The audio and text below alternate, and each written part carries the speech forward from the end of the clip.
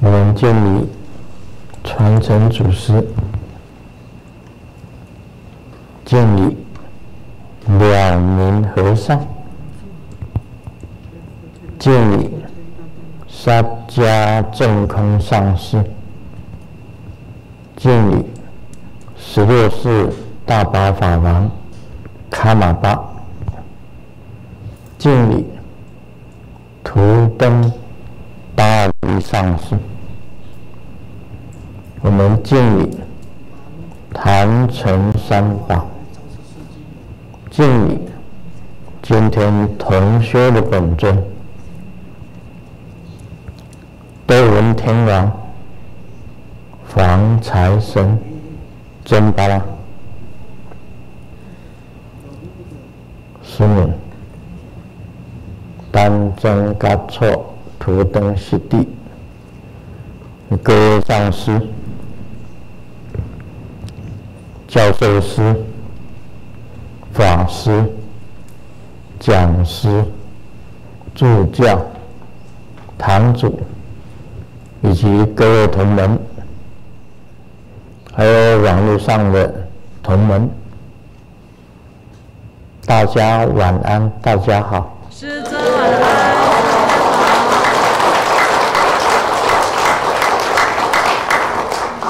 你好，大家好。师尊好。爱してる。愛してる。下来呢。下来。Hola amigo. Hola amigo. Te quiero mucho. Te quiero mucho. すごい。すごい。一番。一番。気持ちいい。気持ちいい。ジュン。亚比， 亚比，布灵布灵，布灵布灵，空班话，空。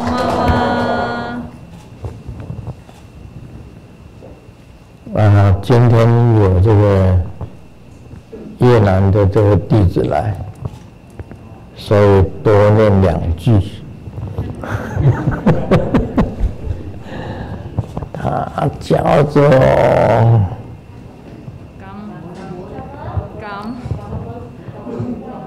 今朝，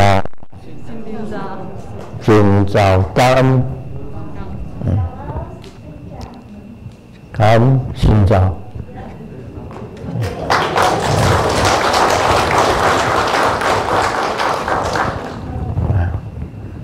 讲几句越南话，越南话这个是从鼻音发出来的，所以那个以前。常志在讲越南话，叫“门门吗？门门门吗？”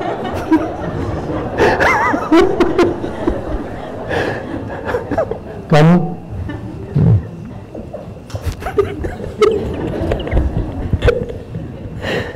哎，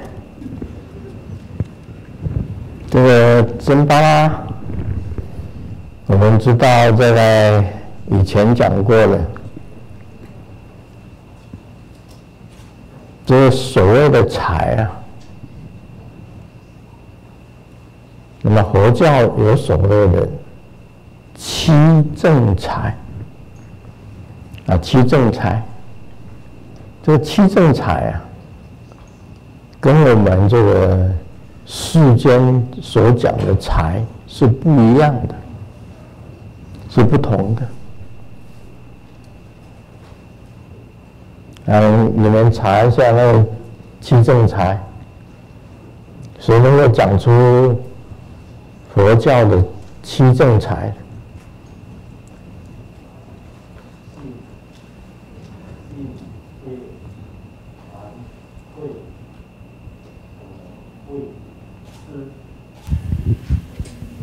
好，给他那个麦克风。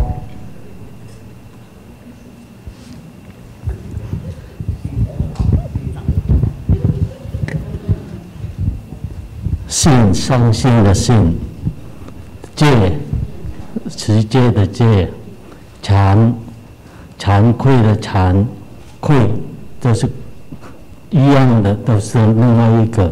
然后呢，就是思，布施的思，另外一个就是嗯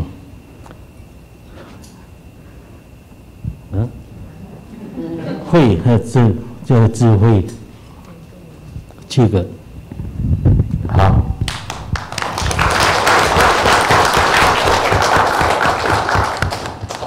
所以佛法里面的所谓的财啊，不一定指 money 啊，不一定是 money 的，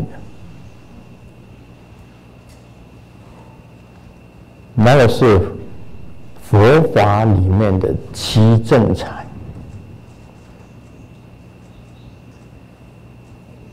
啊，跟我们娑婆世界所讲的财是不一样的，完全是不同。那是七正财。那么在俗世的这个财，我以前讲过的，在大地，这个地神呐，监牢地神，或者这个监牢地神。我们想着监牢地神，他是大地最有钱的，因为你知道大地呀，里面的所谓的七宝，全部出于大地。啊，现在的很多的有钱人，大部分都是有不动产，啊，不动产很多。有土地，有房子，那个有豪宅，啊，其实都是在大地，都是在大地，跟大地有关。你所有的那个啊贵重的金属啊，很贵很贵的，属于金属类的。像黄金啊，这个所有的宝石、所有的钻石，全部来自大地；七宝全部来自大地。这监牢地神当然是最有钱的。我们晓得，在海里面最有钱的啊，就是龙王。啊，龙王最有钱。这个龙宫宝殿呢，你到了龙宫，那以前有谁去过龙宫呢？这个释迦牟尼佛，他有去过龙宫。龙树菩萨，他也去过龙宫。啊，师尊呢，也去过龙宫。那龙宫是这个龙王，他是最有钱的。我们常常讲，在天上最有钱的，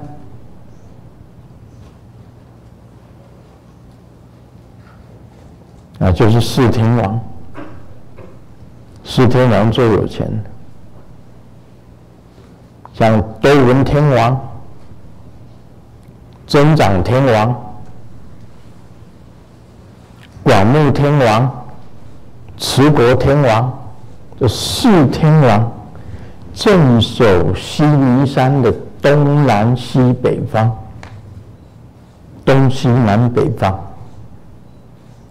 啊，东西南北方每一个宫殿都是七宝所成，每一个宫殿都是七宝所成。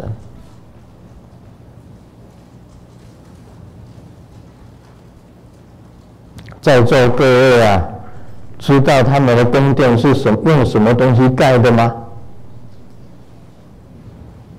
有谁知道？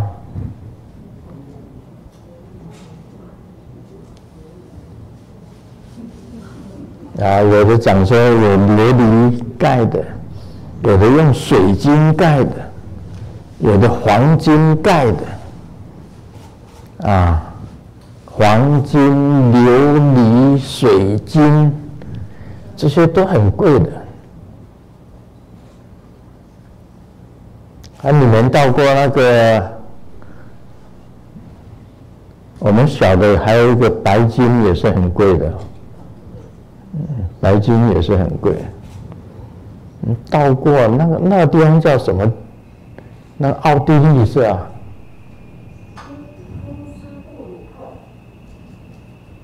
我是讲说，哎，水晶的那那个。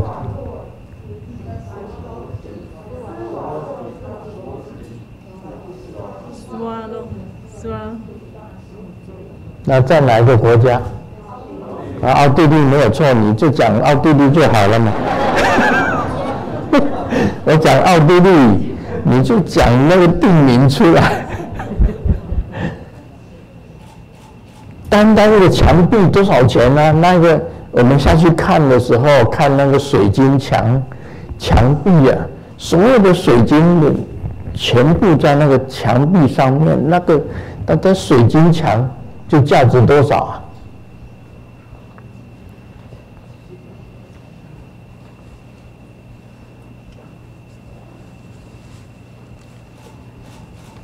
你们查一下，手机可以找得出来。总之啊，都是很贵的。那四天王本身的宫殿就是那个造的。当然还有比四天王更富有的那个宫殿呢，在这个玉界天里面，还有这个所谓的三十三天啊，中央刀立天，那当然还有很多的数不清的这个珍宝，都是很贵的，那是属于欲界天。本身的财，欲界天本身的财。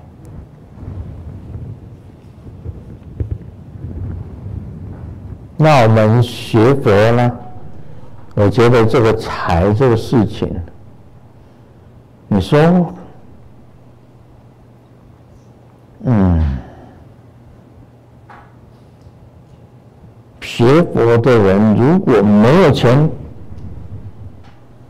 啊，像我们讲说，我们不讲以前在上座部规定很严的，上座部佛教分成啊，佛在这个离开以后，所有的僧人或者大弟子，他们属于上座部，上座部，有的是属于大众部，再来属于大众部。啊，佛教有部派，部派的分，上座部，他可以讲完全按照释迦牟尼佛那时候的戒律在走，戒律比较严。大众部，他就是比较宽，比较戒律比较宽松，比较方便众生，方便众生。所以大众部所度的众生很多，啊，上座部要守上座部的这个戒律，他们是不可以碰财的，不可以碰，也就是你所不能够碰去碰钱，啊，戒律很严，但是他们有时候是用。如果我们用筷子的，就用筷子去夹。呃，用筷子是假，那是属于上座部的，戒律很严。但是我觉得我们现在学佛，大部分来讲，大众部比较多，上座部已经很少了，上座部比较少，大众部比较多。那大众部呢，他就对于这个戒律方面比较宽松，啊，度的众生也就比较多了。那佛教是有这样子的。啊，以前严的时候非常的严，在上座部非常的严格，在大众部它就比较宽松。那现代的佛教呢？你看，那个越大的教团，他的钱越多。我们生活中的教团，当然可以讲是已经脱离丐帮，但事实上啊。真讲实在话，以台湾为例子，那当然最有钱的就是最大的佛教教团，就是慈济功德会。再来是佛光山的教团，他们本身的钱财是不得了的，啊啊是不得了，非常的多，非常的多。所以你看佛光山所盖的这个宫殿，啊，佛整个这个大树的佛光山，那个盖出来真的是非常的辉煌，非常的美丽，非常的庄严。然后慈济功德会，他的教团非常的大，非常的广。所以他们虽然盖的是是灰色的，但是我到花莲到了慈济功德会看到他的这个殿堂的时候，也吓了一跳。甚至在坛子，我看到这个慈济功德功德会的坛子的医院，啊，他盖出来的那个医院，哇！就像城堡一样的，很大很大这样的城堡。一进到大厅，我在坛子的那个进进去大厅里面一看，天哪！比我们现在这个生活中的主庙西雅图雷藏寺。西雅图雷藏 temple，大了我看了有百倍。我们这个厅啊，那么小，加起来每大边加起来不过四千尺，人家的一个大厅，我看到哦。那个往前一望，他们那个壁画真的是非常的亮丽呀！那是什么做的？我一看呢，全部都是钱贴在上面，有钱才能够做啊！你没有钱能够盖佛光山吗？不可能啊！你没有钱能够盖那么大的这个像堡垒一样的那么血灰色的一大片的哇！所以我们呢，这个祖庙那几栋那房子。真的是人家的草寮啊，草寮，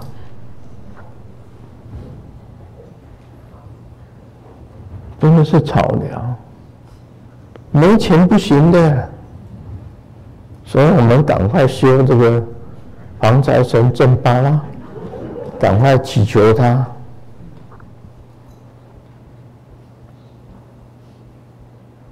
叫他啊。把所有的这个黄金啊、美钞、US dollar、golden and diamond 啊，通通赐给我们。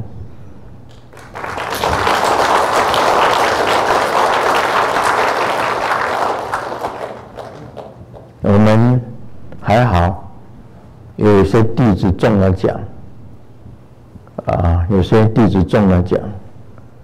这个在台湾雷藏寺也有很多的弟子中了奖，在西雅图啊也有弟子中了奖，在台湾很多人中奖，还有我们也有中乐透奖的，第一乐透奖的，中国中的弟子中了乐透奖，还有这个台湾雷藏寺有好几个中了奖的，以前都讲过了嘛，啊，中了奖的。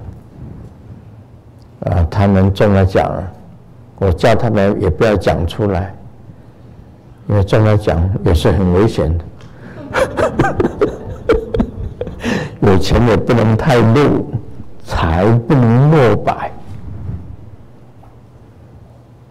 我说以前我们那个在台湾雷藏寺，我常常讲那些那个那些来的那些啊。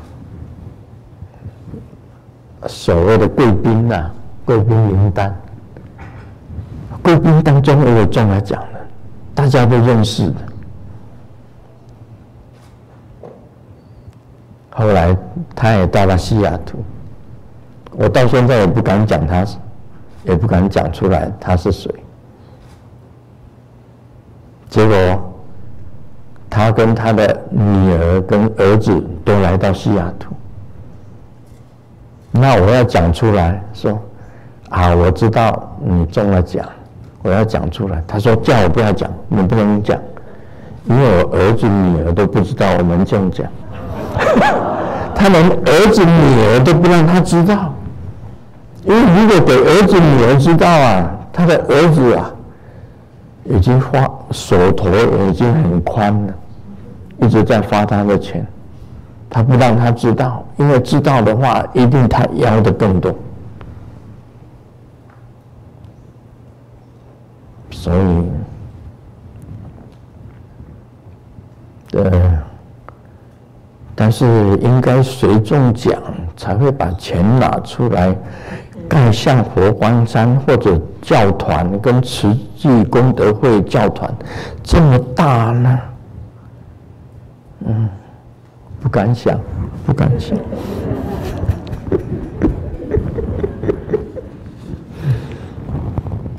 这个四天王啊，保佑我们。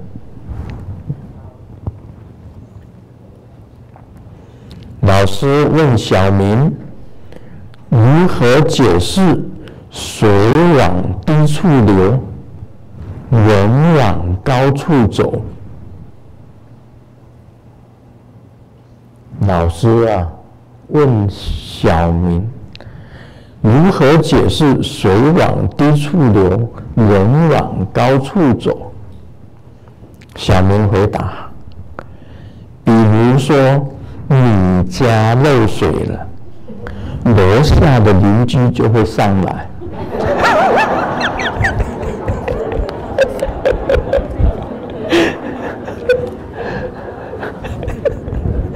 有道理啊！小明很聪明的，我们这里不一定有人比他聪明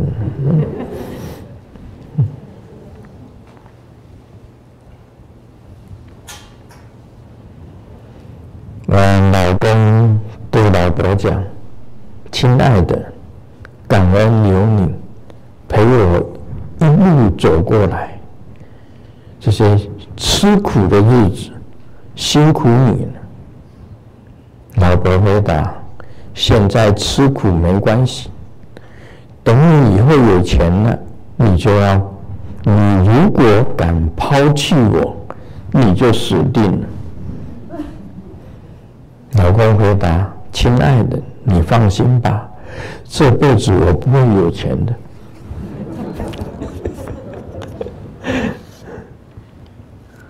这。有钱也有好，也有不好。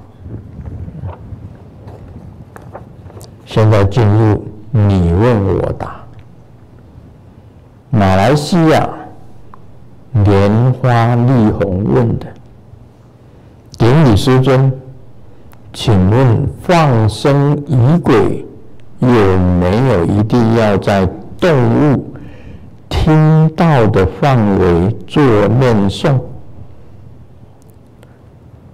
有没有一定要在动物听的听到的范围做念诵。哦，你在做念诵的时候，动物要听到。他的意思是这样子：放生有延长寿命、超度至净土的意义，一定需要把动物放到大自然。弟子观察城市范围放生，动物一般是死的多，活的少，或没有适当的居住环境。弟子有一个想法，做放生可以配合当地照顾流浪动物的组织，钱可以捐给该组织，让他们发挥。行者为动物做放生仪轨的念诵，弟子认为这样在各方面比较有效力。请问师尊，这个样子做？符合放生吗？他的问题，关于放生仪轨，你念给动物听，动物听得懂吗？问题听得动物听得懂吗？所以放生仪轨不是念给动物听的。是念给自己的心听的，做仪轨念经呢？你在这里念经，念这个阿弥陀经，你是念给阿弥陀听的吗？不是啊，不是念给佛听的，是念给自己听的。你要照佛经的去实践你自己的修行，是念给自己听的。所以放生动物的时候啊，把动物或者水煮、放鱼、放鸟，不是念给鸟听的，也不是空中飞的、水里游的、地上爬的。不是念给他们听的，是念给你心里听的，让你产生慈悲心，让你自己常养慈悲，是要自己做到的，而不是让动物听的。关于他想出来的，他说他的观察。钱可以捐给该组织，让他们发挥。行者为动物做放生与鬼的念诵，弟子认为这这个这样子比较有效率。请问师尊，这样复合放生吗？我认为，我个人认为可以。好像那个流浪狗的收养中心，你去捐款。啊，捐款给他们，啊，好好的照顾那些动物，那也是一种放生。我认为在现代来讲是可以的。啊，你要放水煮，这个放水煮，也就是说，这个海里的啊的海龟呀，啊，放到水海水里面。淡水的龟就放在淡水，这咸水的龟要放在咸水，海里的放在海里，湖里的放在湖里，河流的放在河流，啊，不可以混乱，或者就变成放生，就变成放死，啊，让它在大自然中能够适应的地方去放生。这个是对的，或者你捐给照顾流浪的狗的地方捐钱给他们，也是一种放生。我认为那个也是一种放生。所以这个马来西亚莲花丽红，这个延长寿命、超度至净土的意义都是有的，但是最主要的是长养。你因为慈悲，所以你才放生，这是长养你自己的慈悲心。这放生的要义在这里哈。有时候放生啊，也不要随便乱放。现在哦，我听说有人那个放那个毒蛇，啊，毒蛇他他收集很多的毒蛇，然后跑到这个那个丛林里面去放。啊，那登山客啊，很多的登山啊，早上去爬山的。都被蛇咬了，都被毒蛇咬了。虽然是慈悲哦，有时候也要有这个，要有智慧。有些是可以放生的。我现在也有很多的的动物保护协会啊，动物保护协会。你跟鲨鱼讲，啊，在潜水夫，呃，在潜水的时候碰到鲨鱼，鲨鱼要吃它，你跟他讲，我是动物保护协会的，你不要吃我，我是保护你们的，好，早就进去了，管你什么动物保护协会的，他不懂啊。所以放生要有智慧。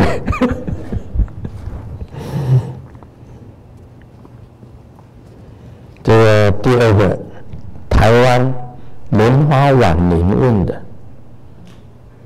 请问一下，《红光大成就》里面有教有谈到密教七日成佛法，请问？人快往生的时候，是观想此法呢，或是想灵魂直冲上顶窍，紫光、慧母光成佛呢？或是第一个时间，在两三秒观想紫光、慧母光，没有成功的话，就是以后四十九天内。每天都是观想阿字勾字勾字后日的观想，这样对吗？所谓七日成佛法是这样子的。你在这个临终的时候啊，你的意念把自己想成后日，把自己的身体、你的肉身观想。或者你的心事观成成为一个后日，那一切意识啊，你就观想成为二字，二字，这个二啊，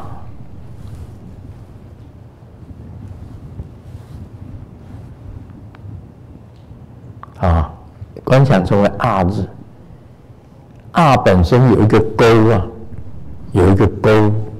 是勾起来的，“二”字本身有一个勾字，那你这个勾字跟你这个“后”字，“后”字是一点一个圈，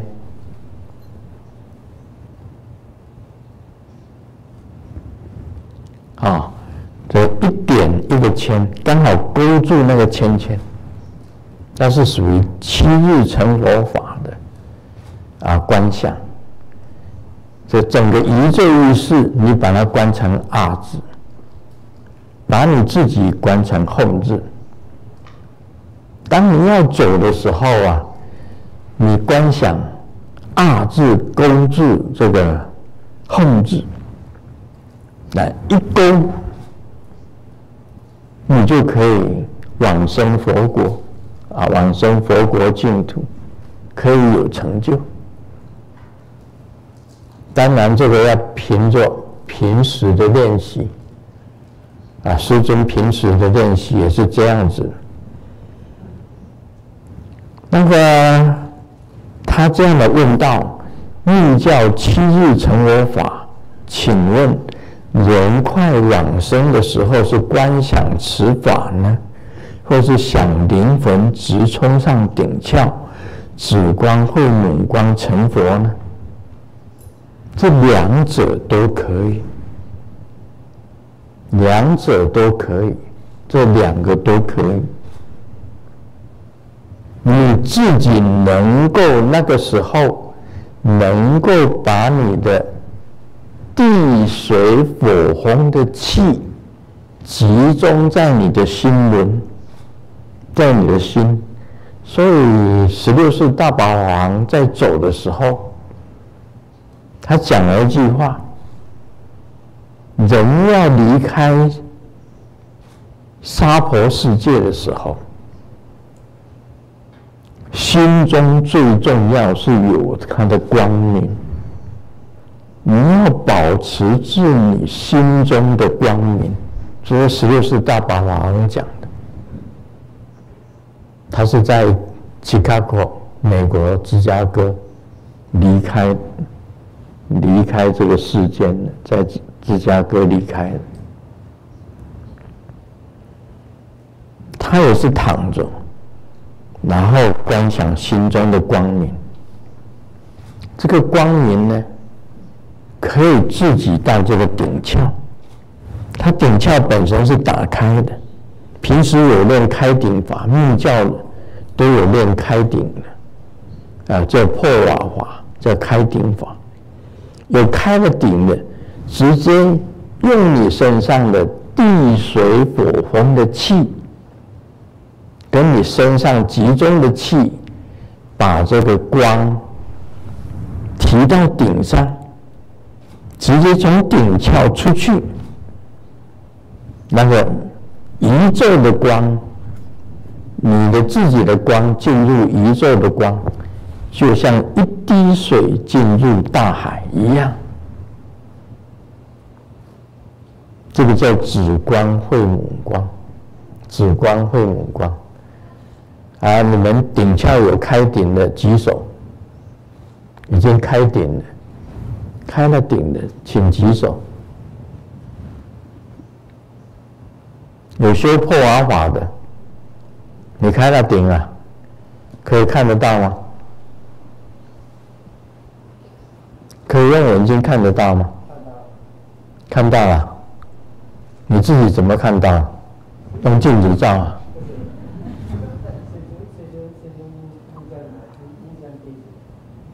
哦，好，没关系，请坐。这个顶窍一定要开的。我们出生的时候啊，顶窍是开的。小孩子 baby 刚刚出来的时候，他顶窍是开的，然后慢慢再合起来，再补起来的。啊，你在修法的时候经常冲顶，他顶窍又会开的，是密教的法，密教的法，他中脉直接通到顶窍，啊，师尊的顶窍是开的，你们可以看得到。以前看过嘛，对不对？对。以前给大家看过嘛，啊，看过了，现在就不用看了。这个开了顶的，你记得心中的光明，然后把气运到你的心心，然后推往上推，从中脉推到这个顶窍，从顶窍出去。就一定成就。那我们记得啊，啊，师尊在做这个中阴签事的时候啊，是说开天门、闭地窍、塞人路、主轨道，这四句话，一个是开天门。把你的顶窍打开，就是中阴牵示法；把你的顶窍打开，然后呢，闭地窍，不要到地狱恶鬼畜生去，因为地狱恶鬼畜生从哪里出去？从你的这个逆轮出去，都是地狱恶鬼出生；从你的底下肛门出去，也是地狱恶鬼出生；从肚脐出去，从肚脐啊，就躲宅啊。我们小孩子出生的这个 baby 的这个营养输进管。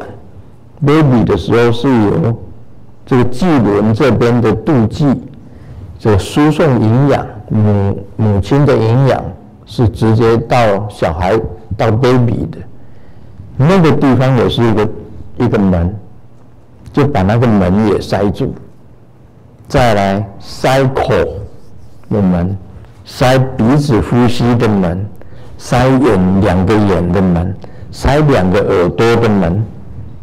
全部要塞住，只剩下一个顶窍，让它开，叫开天门，闭地户，塞人道，阻鬼路。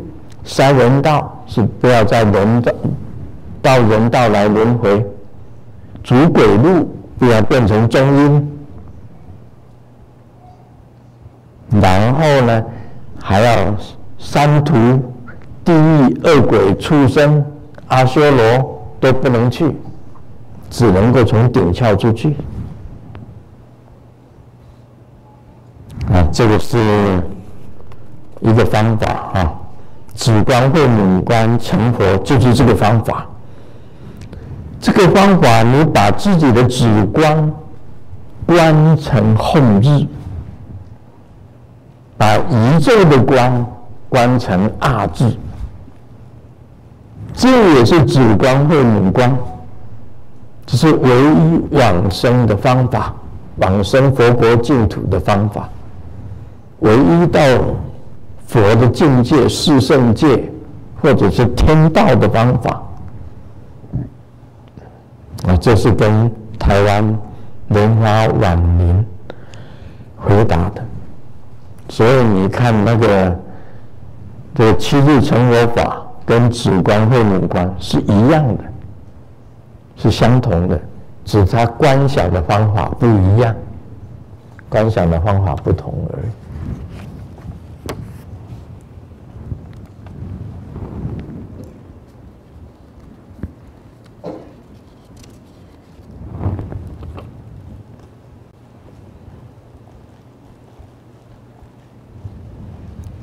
老婆讲。跟老公讲：“亲爱的，你觉得我身材怎么样？”老公讲说：“还可以啦。”老婆说：“可是我的好朋友说我没有腰。”老公说：“他瞎眼，他瞎了眼吗？这么粗的腰，他居然没看见。”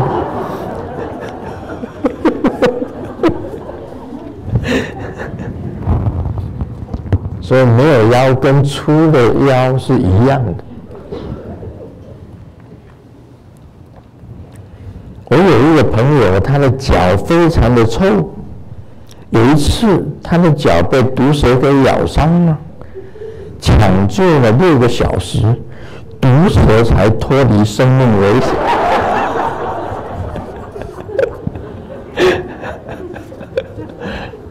真的。呃以毒攻毒啊！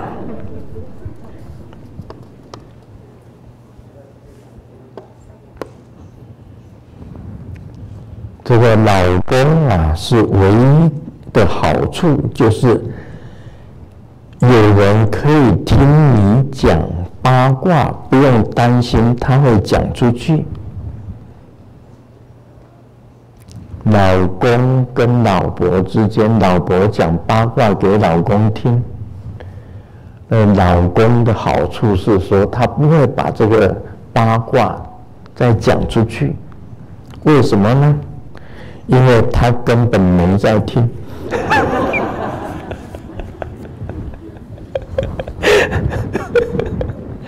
这是笑话，这大部分都是有一些常情的事情啊，人之常情呢。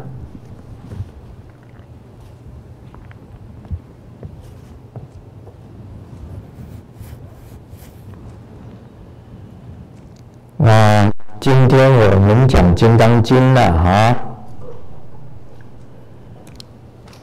我讲今天讲有一个重点在这里啊。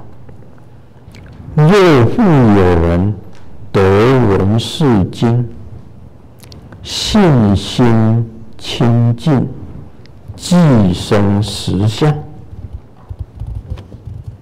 当知是人成就第一稀有功德。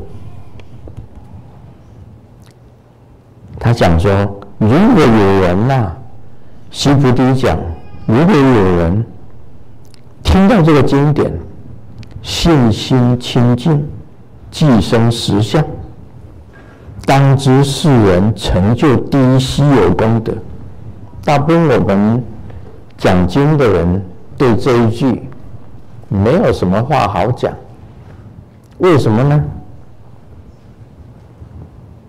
如果有人听到这个经，他产生了信心，而且这个信心是非常亲近的。他就生出实相，他就真正的懂得什么什么叫做实相啊，实在的相。要知道这个人呐，成就第一稀有功德啊，是第一稀有功德。大部分的人都是这样，很简单嘛，可以这个几句话就等于是白话一样嘛。也就不用解释了，但是你要注意哦，信心清净，即生实相。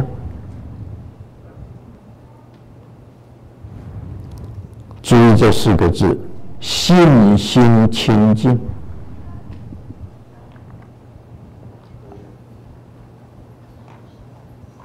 注意这四个字：信心清净。很多人都认为我信佛啊，我很虔诚呢，那个就是信心清净。我是虔信，虔信，虔信就是我完全信仰佛教，那个就是虔信了，或者可以讲。我就纯信。什么叫纯信呢？一点怀疑都没有，那是很纯呐。像我们这个这个罗等黄金啊，有 nine nine nine nine，我们就称为纯金，那是纯金。啊，纯金。啊，不是镀金。啊。不是镀金，镀金但只是表面，真的是纯金。奈奈奈奈，就纯金的，就是差一点点，只是差一点点，又是非常纯，纯到可以，那个是不是心信心清净呢？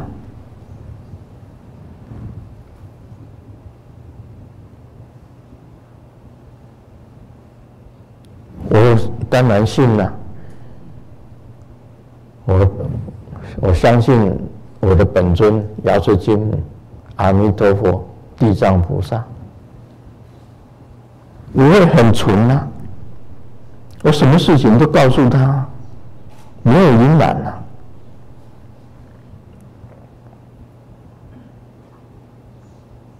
我能不能生这样就生实相？不可能的，这里的信心啊，不是讲信仰的那个信心呢。这个清净啊，这两个字很重要啊。那个才是实践呐、信心是要用实践，实践了你的信心，才叫做清净，不是表面上的信仰哎。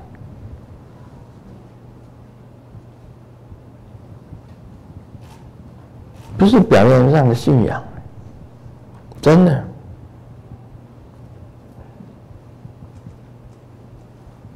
所以大家以为，信心清净，哎，我就生实相了。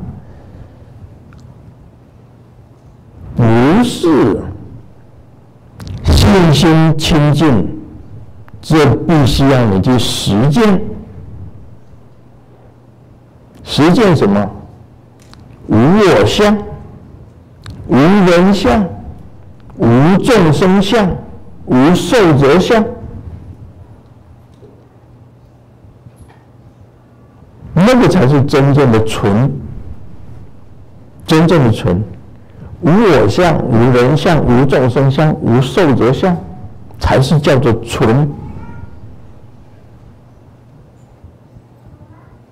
这个时候才叫做什么？穷肃三际，横偏十方。佛教的用语啊，穷肃三际，横遍十方。穷肃三际，就是你的过去、现在、未来成为一贯，横偏十方，上方、下方、八方，无止境的宽广。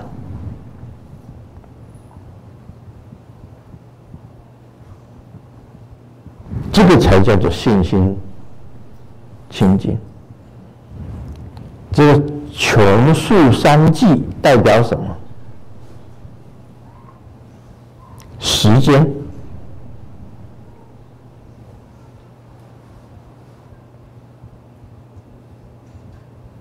代表时间都是清净的，代表你过去式你是清净的。现在是也是清净的，未来世也是清净的，然后再来横天十方，上方也是清净的，下方也是清净的，八方全部空间，横偏十方就是空间全部清净的。我也举一个例子。我常常举这个月球，月球什么人都没有，一片大地，没有生物，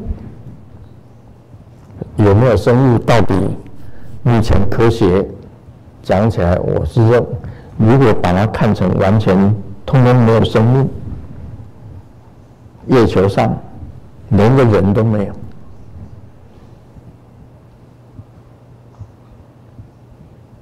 时间对月球来讲有什么益处？有什么坏处？没有，不影响，对不对？时间没有什么影响，空间也没有什么影响。我讲，我在月球，我是大地主。哪一块地是我的？没有用的，那个没有什么价值感，空间没有什么价值感呢。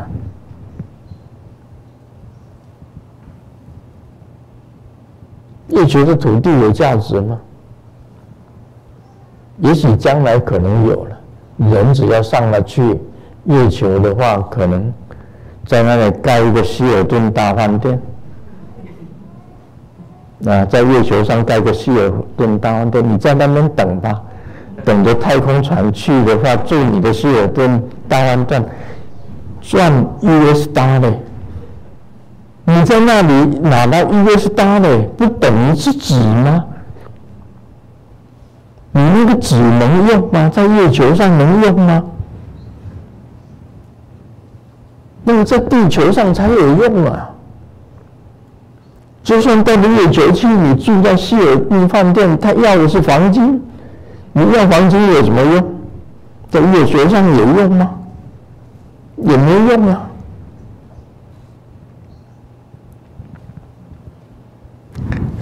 这个才叫做信心清净呢。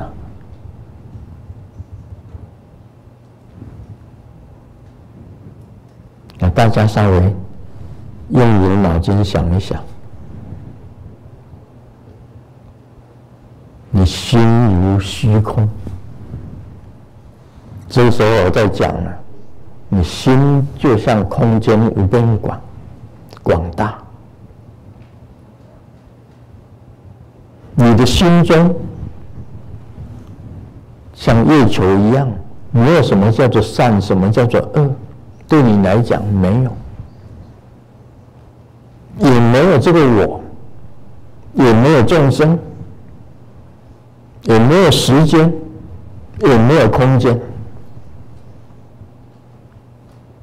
这个纯度叫做第一名。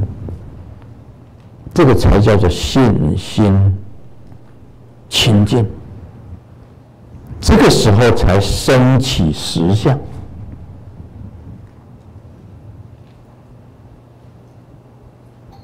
很多人讲金刚经，绝对不会讲到这一点呐！我告诉你，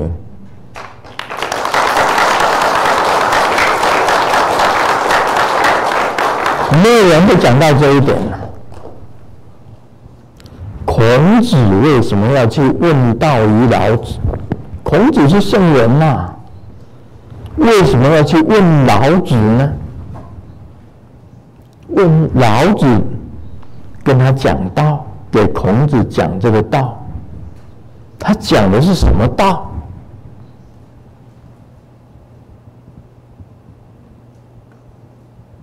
老子讲道给孔子听。孔子是中国的圣人，已经很伟大了。但是他讲道给孔子听，他讲的是什么？自虚两个字，自自就是到达，虚完全净空。自虚两个字，自虚是什么？自虚才是道，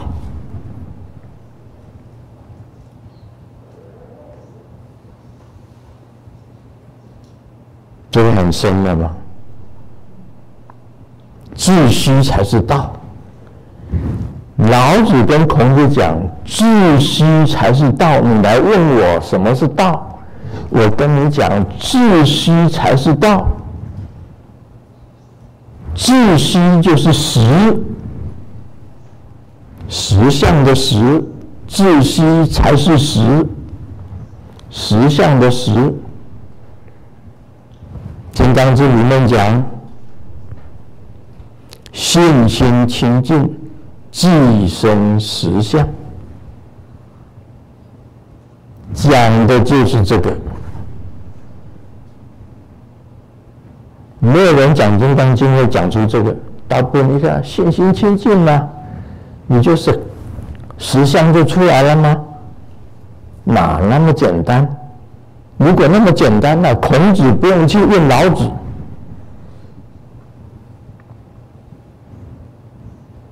自虚才生实相啊，自虚才是实啊。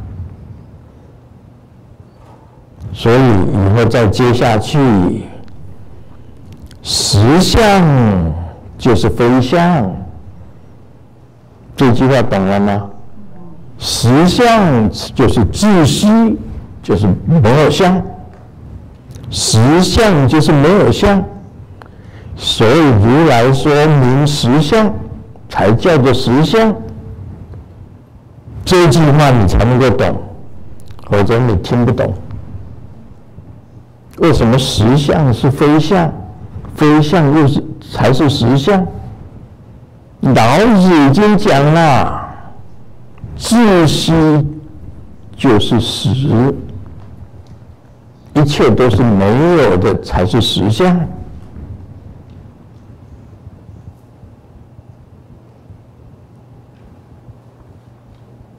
所以今天我跟大家讲了，信心清净这四个字，不是很容易解的。今天是只有卢世尊能够讲出来。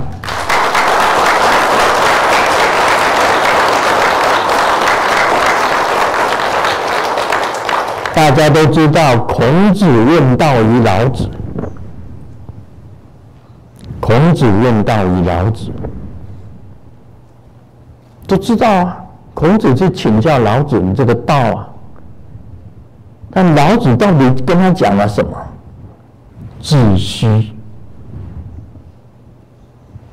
即实，就是《金刚经》里面讲的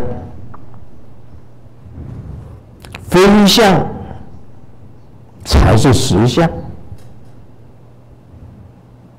也就是实相就是非相，才能够接下去讲世尊是实相者，即是非相。是故如来说明实相，安来挑不？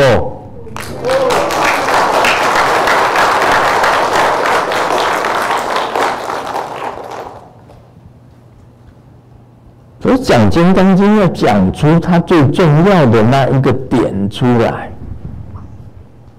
你讲不出来，你在讲什么《金刚经》？它是不坏的经典呐，自私怎么会坏呢？分相怎么会坏呢？但是不坏的啊，没有时间，没有空间，怎么会坏呢？要达到这种境地呀，才是佛啊。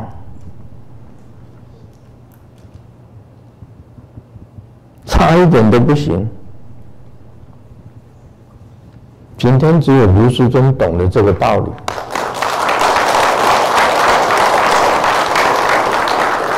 你去看人家解那个讲《金刚经》的很多啊，很多人讲《金刚经》，我不骗你，很多法师都讲《金刚经》，他没有想到啊，信心清净了。我这样一讲，你马上知道，实相就是非相，非相也就是实相，你马上可以一下子就了解了。我不这样子解释，没有人可以知道。你表面上给他聊过去，就走了。讲的那个都不是《金刚经》，那是有坏经，会派去也颠。是卢世尊讲的《金刚经》是不坏的经，它不会坏。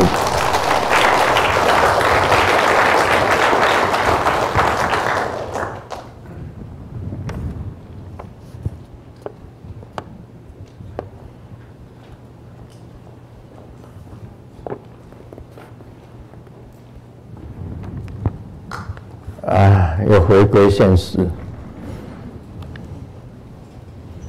让老婆的开心的方法很多。kiss，他会开心；hug，他也会开心；陪他玩耍也会开心；打扫卫生间也会开心；陪他回娘家。陪他逛街，买名牌包包、衣服，他都会开心。帮他洗衣服，早一点回家，甜言蜜语，时刻保持联络，给他惊喜，给他按摩，听他讲，一直听他讲话，这是给老婆开心的很多种的方法。先生开心嘛？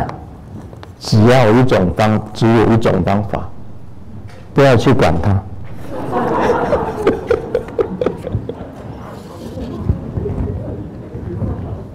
啊，不要不要去管老公，他就开心。阿妈的本嘛。